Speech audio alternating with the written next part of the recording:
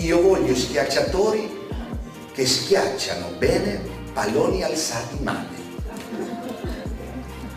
Voglio questi, perché questi poi, quelli alzati bene, li schiacciano benissimo, non bene. Quindi non ne parliamo, risolviamo. Se la realtà è come è e non come io voglio che sia, la palla è bassa, il mio cervello, che è un computer straordinario, deve aprire tutti i file con il titolo Pala alzata bassa.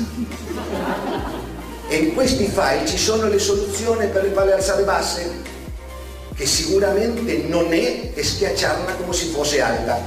Questo è poco, ve lo sicuro. Ci sono altre soluzioni. Deve usare una di quelle. Se invece con della palla bassa lui non apre nessun file, oppure apre il file alzata, certo che la soluzione non la trova perché sta spendendo tempo invece di aprire il file a dire questa palla è un po' bassa secondo me